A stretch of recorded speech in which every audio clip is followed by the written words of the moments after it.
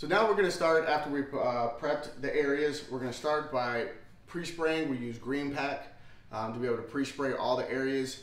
You always wanna make sure that when you're pre-spraying, that you don't spray too little, but then also you don't spray too much. So what I wanna do is make sure that this is gonna stay wet for at least five to 10 minutes. That dwell time is gonna help loosen up any deep embedded soil. Now what you want to do, if you ever come across a vent, when you're doing tile, to prevent a lot of that moisture to fall into the vent, what I like to do is get some tiles and stuff it. This is going to help prevent and absorb any of the moisture that may go into the vent because that can drip down into a lower level. Then after our pre-spray, this is where I pull out this tool, which is called our doodle bug, and start to agitate around all of those edges.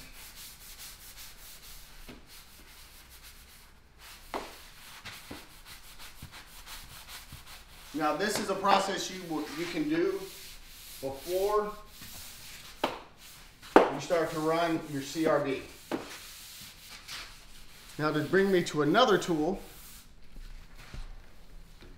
say for instance there is some areas in the grout line that have a lot of oil or there's more of a um, deep embedded spot or stain, then you can use this tool to get right into the edge. This is a grout brush.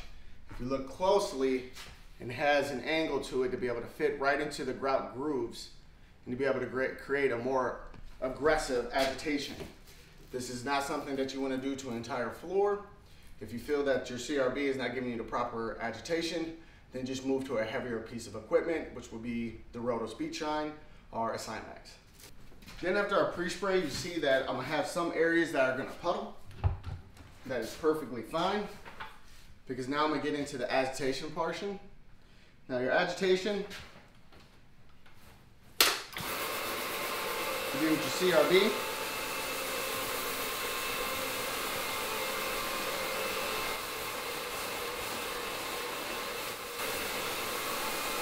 Well, this process helps get into the, the grooves, not of only the, the grout, but also of the tile.